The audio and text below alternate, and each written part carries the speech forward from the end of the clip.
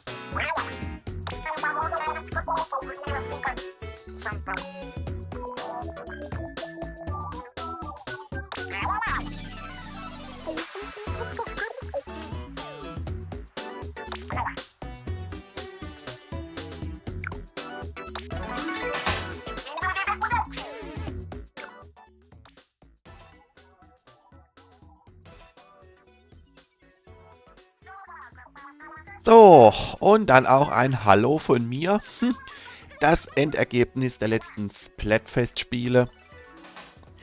Äh, die Einzelgänger haben gewonnen. Ähm, spiegelt den unseren Zeitgeist wieder, finde ich. Ich möchte jetzt hier nicht zu theatralisch und zu, zu ähm, äh, äh, wie sagt man, wie kann ich das jetzt sagen, äh, ähm, äh, kritisch oder gesellschaftskritisch rüberkommen. Aber es, äh, es kommt, es ist, es spiegelt schon irgendwie ein bisschen den aktuellen Zeitgeist wieder. Was ich damit meine, gleich, wenn wir ein paar Runden Splatoon spielen. So, mal im Vollbild. Ja, das Shirt mussten wir abgeben, aber ja, das kennen wir jetzt ja alles schon. Weiterhin, ich bin begeistert von diesen roten Schuhen. Die sind wirklich mega. Wobei, ja, äh, ehrlich gesagt, Gummistiefel, am besten schwarze Gummistiefel, am besten zu Kipp, Kipp passen. Aber diese roten, diese roten Schuhe, die haben schon was. Und der Kontrast zur gelben Farbe von dem Helm, fantastisch. Ja, ihr wisst ja, nach dem Splatfest ist vor dem Splatfest, aber Splatoon besteht nicht nur aus Splatfesten, sondern auch einfach zum Spielen, zum Spaß. Deshalb die erste Runde nach dem Splatfest erstmal mit dem mit dem alten, abgeranzten ersten Shirt, das wir eigentlich anhaben, wenn das Spiel beginnt. Also wenn es richtig beginnt, wenn man zum ersten Mal spielt. Ihr wisst, was ich meine. Ja, Thema Einzelkämpfer. Die Frage war ja, mit wem verbringst du deine Festtage am liebsten und Freunde, Familie oder alleine? Und das, die Alleine-Crew, die hat wirklich überragend gewonnen. Das hätte ich jetzt ehrlich gesagt nicht gedacht weil erstens die Farbe jetzt nicht so pralle war, also so dieses, dieses, äh, dieses, ähm, ah, dieses Pastellgelb, irgendwas, wo eher nach Mayonnaise ausgesehen hat. Äh, und dann, ähm, ja, Mantaros äh, Team ist auch nicht so beliebt der Wahl, habe ich schon festgestellt. Aber äh, ja, ich weiß nicht, ich weiß nicht, woran es lag. Ob, äh, ob einfach die meisten ähm, wirklich alleine sind äh, an Festtagen. Bedeutet, was bedeutet Festtage, ne? Also es gibt ja auch, es gibt ja nicht nur Weihnachten, es gibt ja auch noch Ostern und alles mögliche, aber ich denke mal, es ist vor allem Weihnachten gemeint gewesen. Ähm, aber ich habe noch eine andere Begründung. Ähm, es ist so, dass eben äh, das, Team, das Team Solo gewonnen hat, weil die einfach die besten Ron-Spieler waren. Wenn nicht sogar die besten, weil es war ja wirklich überragender Sieg. Also wirklich in allen Kategorien abge abgeschmettert, abgesplattet. Ähm, das gönne ich denen. Ich, ich, wirklich unabhängig jetzt natürlich von der Thematik. Weil äh, dieser Zeitgeist, ja, äh, man macht viel lieber alleine. Äh, oder vielleicht ist es auch nicht mehr so, äh, ja, modern an Festtagen mit der Familie oder so zu feiern. Ich weiß es nicht. War das jetzt ein Lag oder warum hat es jetzt... Ah, egal. Ich weiß es nicht. Ist auch wurscht.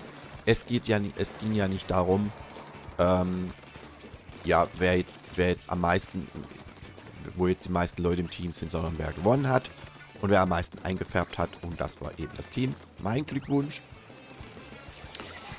Ich habe hier mal wieder meine absolute Lieblings-Ulti-Waffe.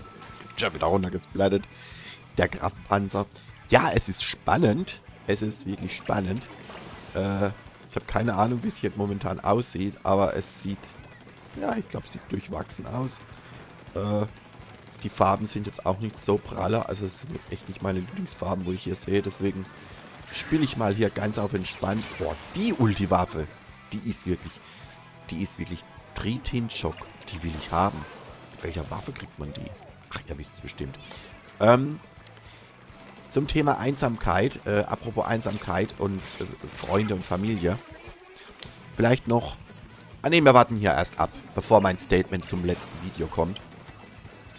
Das schon ein, ein klein, eine ganz, ganz, ganz, ganz, ganz klein wenig eine Welle geschlagen hat. Na gut, mit dem Hashtag, ja. das ist ja auch kein Wunder. Aber erstmal... Erstmal die Runde abwarten, wie es Oh je, oh je. Ich sehe es schon, ich sehe es schon. Ja. Satz mit X. War wohl nix. Orange hat gewonnen, aber wie gesagt, das gönne ich denen, weil meine Lieblingsfarbe war das jetzt echt nicht. Wobei wir jetzt auch nicht so schlecht waren, ne? Ja, zum Thema von dem letzten Video. Ähm, was ja eigentlich ein außerplanmäßiges Video war. Also ich mache auf diesem Kanal selten jetzt irgendwelche Real Talk Videos oder Videos, wo wirklich gar nichts mit dem Hauptthema des Kanals zu tun hat, nämlich Gaming und Science Fiction, naja, hauptsächlich Gaming, ähm, nehme ich das Thema Drachenlord. Es war einfach mal interessant. Äh, ich habe mich einfach mal dafür interessiert, was passiert, wenn man auf seinem Blog äh, etwas kommentiert. Ich hätte nicht damit gerechnet, dass ich überhaupt eine Antwort bekomme, weil, ähm, und wir wollen es hier mal festhalten, ich habe da absolut nichts dagegen, ähm, wenn jetzt die Kritiker, ich will nicht Haters sagen, Kritiker gefällt mir schon ein bisschen besser, weil es geht ja um Kritik und nicht um Hate, um Mobbing und Hetze. ähm, oh, blau. Gut. Super. Das macht die neue Jacke wieder. Die habe ich jetzt übrigens wieder angezogen, weil mehr wie ein Spiel mit dem zerrissenen alten Shirt will ich dann doch nicht machen. Und dies, dieses Blau, das ist wirklich mega. Oh, mega. Schöne Farbe. Ähm, deswegen, ich, äh, äh, kann ich es durchaus verstehen, weil sein Blog ist ja öffentlich. Also der ist jetzt nicht hinter einer Paywall oder so. Jetzt, jetzt vielleicht manche äh, gedacht haben, oh, der Kipp, der hat hier jetzt vielleicht den, dem Herrn Drache hier äh, Geld gelassen, dass er jetzt auf dem äh, auf, dieser, äh, auf diesem Blog etwas unterschrei äh, unterschreiben, etwas kommentieren kann. Nein, der Blog ist öffentlich. Wie gesagt, ich will ja keine Adresse oder so ähm, äh, teilen. Wenn man seine Sachen finden will, dann findet man die auch.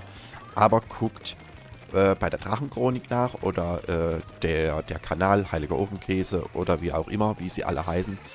Die geben alle nötigen Infos. Ich glaube, da muss ich euch wirklich nicht ähm, dabei weiterhin. Kriege ich hier eine Bombe hin? Nein.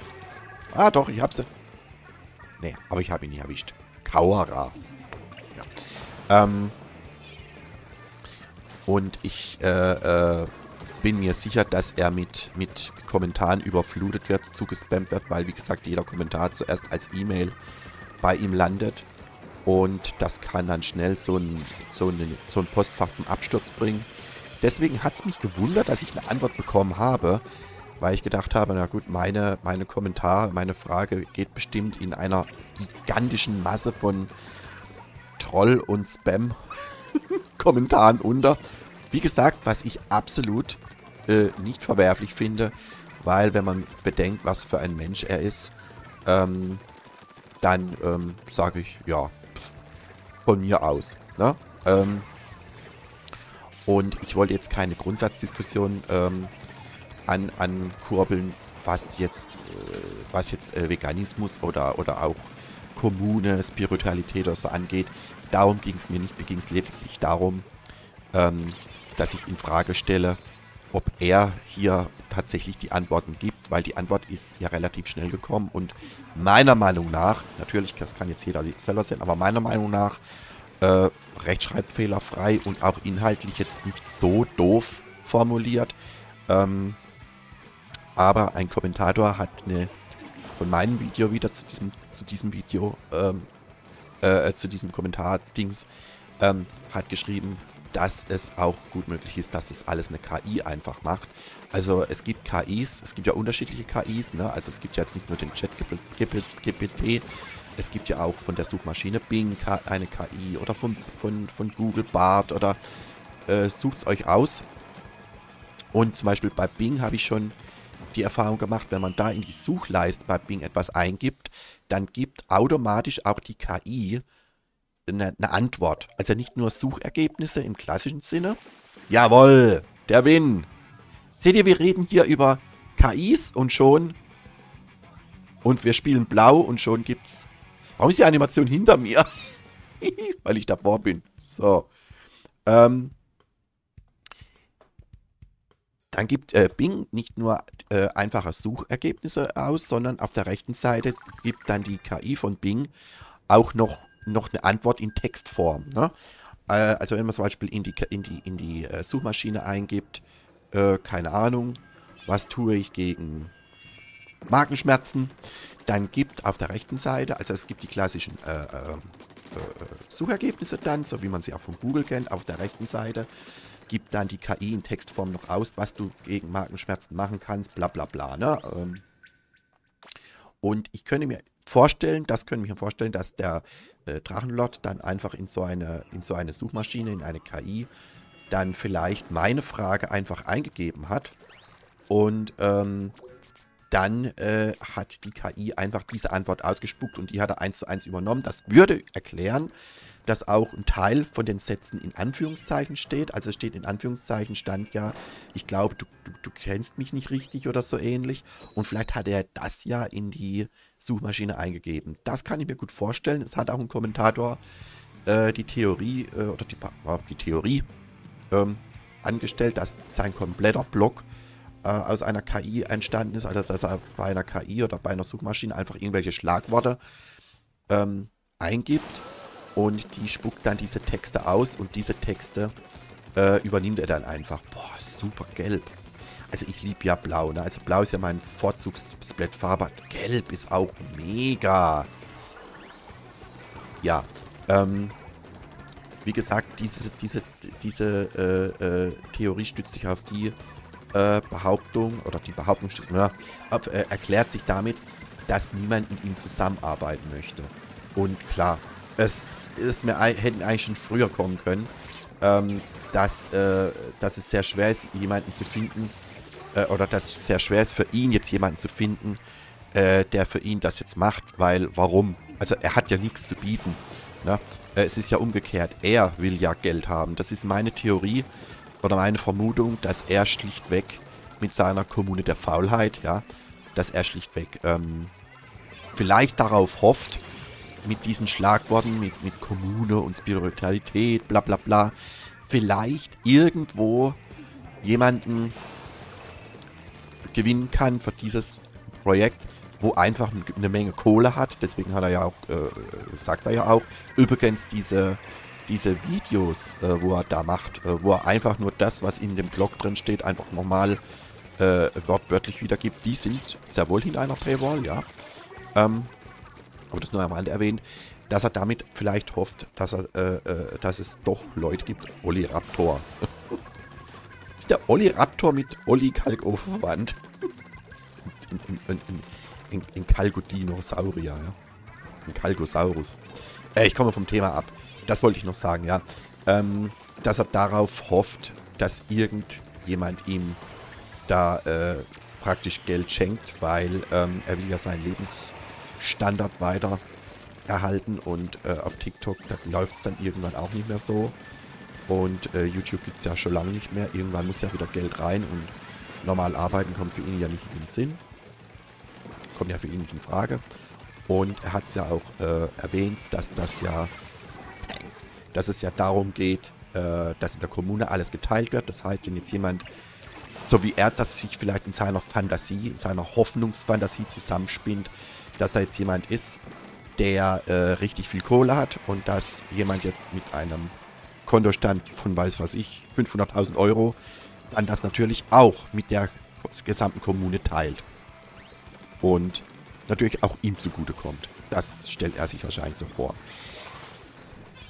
Dass diese Idee ist aber nicht neu. Die kommt nicht vom Drachenlord, sondern äh, solche Kommunen gibt es. Und zwar, ähm, es gibt tatsächlich Leute, die, ähm, so, jetzt gucken wir erstmal. Jetzt habe ich wieder ein bisschen gewonnen, verloren, gewonnen, verloren. Ja, ja, ja, ja. Jawoll. Woo. Gegen Blau gewonnen. Ähm, äh, zum Beispiel die Schenker. Es gibt solche Schenkervereinigungen oder äh, die einfach materiellen äh, Besitz ablehnen und in so einer Gemeinschaft dann einfach alles miteinander teilen. Und mit so einem Geschwurbel ist er ja schon gekommen, ne, dass er, wo er gesagt hat, ja, er ist dafür, dass Geld abgeschafft wird und materieller Besitz äh, äh, ist, äh, ist nicht wichtig und das sagt nichts aus und bla bla bla.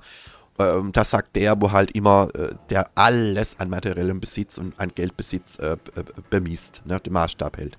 Wenn ihr wollt, kann ich darüber vielleicht noch ein Video machen, was ich allgemein davon halte oder was, was ich jetzt darüber weiß. Aber das hier soll jetzt kein äh, Drachenlord-Hater-Kanal äh, werden. Wobei es durchaus sein kann, dass ich mich hin und wieder zu bestimmten Themen, wenn sie passen oder wenn sie mich auch interessieren, ähm, dass dazu dann mal wieder was kommt. Schreibt mal in die Kommentare, was ihr davon haltet. Ähm, mein Outfit hier ist momentan perfekt. Und ähm, schaut gerne auch bei Kips Laboratory bei meinem Live-Kanal, wo es demnächst dann auch mit Games losgeht. Das war's. Gehabt euch wohl. Metal off und Kips Supernova over and out. Ich hüpfe hier nur ein bisschen rum. Bisschen die Beine vertreten. Ja. Tschüss.